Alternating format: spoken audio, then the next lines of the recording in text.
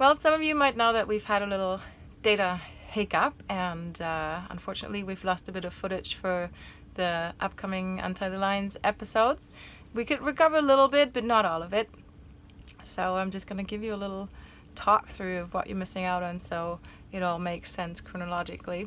Well, you remember that Karl was up on the hard and uh, we were fixing his belly, welding some stuff, and we had a little fight with the rudder.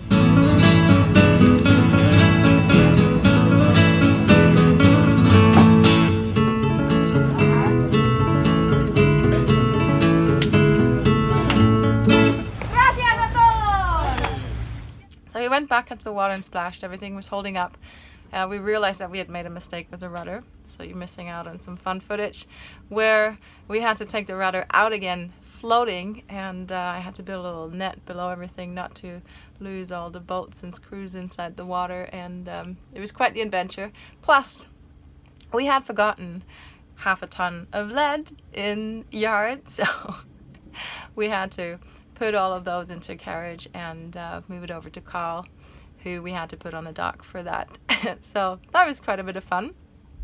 And also you missed a very good statement from Manny saying that his favorite job in yard was actually cutting loose those crazy lead bars, which I know it's unbelievable, but that's what he said.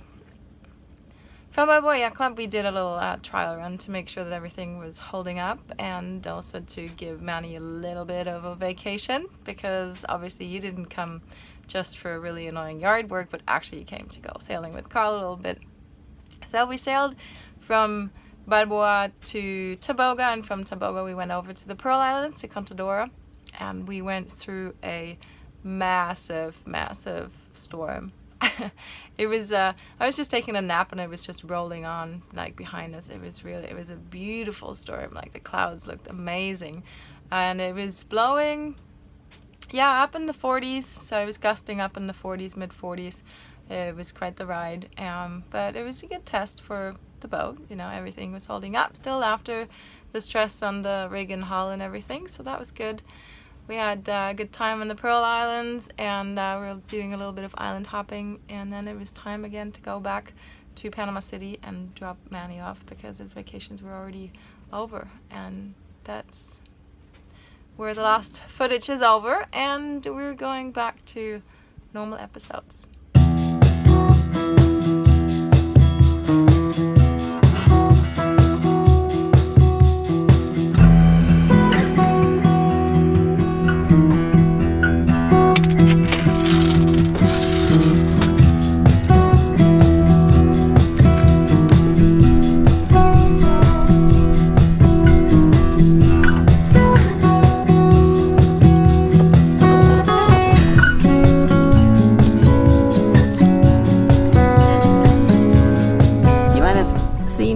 Windows are getting a little bit bad and that there's quite a bit of Gorilla Tape involved to keep them together.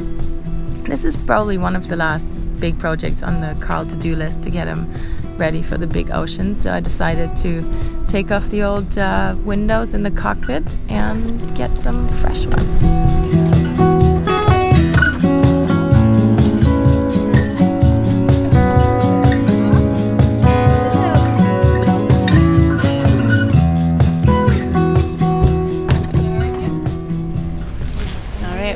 Place. It's called uh, Monty Plastic, and um, brought my little windows with me to see if they can make the same. And it looks like you have a lot of stuff here.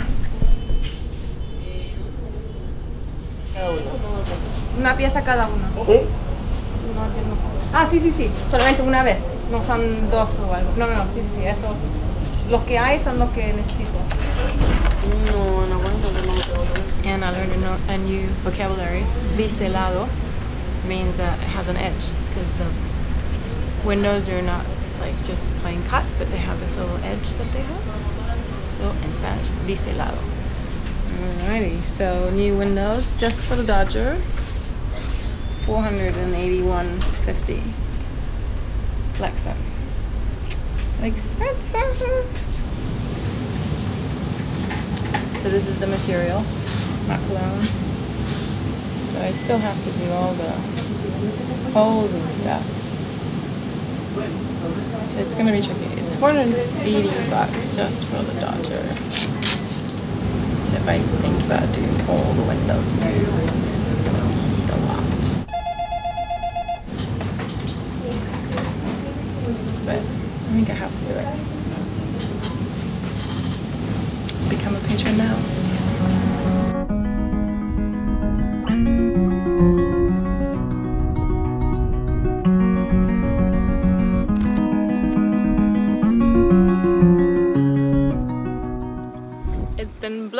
Between 15 and upper 20s for the last two, two and a half days. So it's a bit rough in the anchorage. Um, but yeah, wind is coming pretty much south southeast, so that's not so good for going south. So we're waiting for this weather to pass before we head down to uh, Vista Mar to drop off Maria and Joana ready because possibly they're gonna come with us to Ecuador.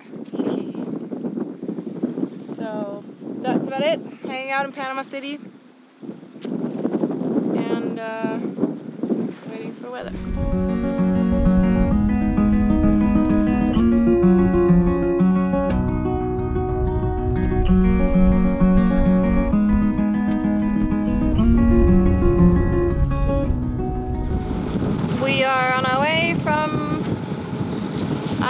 Brisas in Panama City to San Carlos.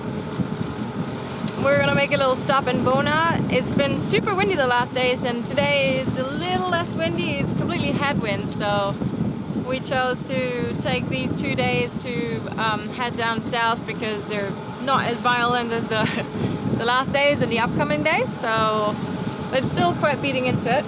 And I think I might have talked Maria into coming to Ecuador with me, so a couple of things on Joana that we need to fix, and a couple of things still on Karl that need to be fixed, and then off we go to new country, finally, yay! But, um, because that means I will be single-handing again shortly, I need to fix my autopilot. So I'm gonna do that now.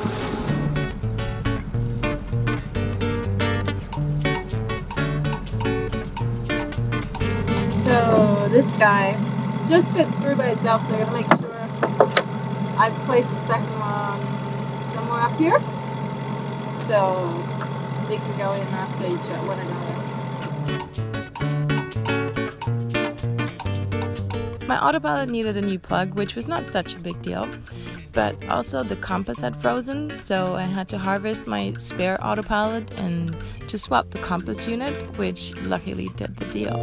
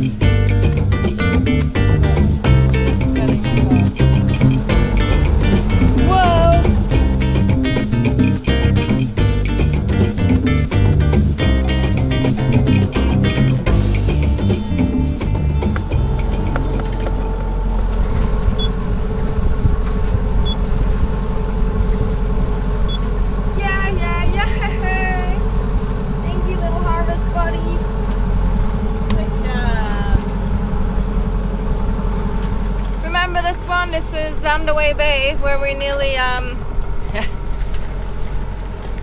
hit the shore when we tried to tack out of the bay. Looks a tiny bit calmer today. But who's to say? Wind is coming from the different side as well. Alrighty! Time to get the sail in and turn the Autobot off. Did a good job. Back in the business. Back to lazy cruising. Yeah.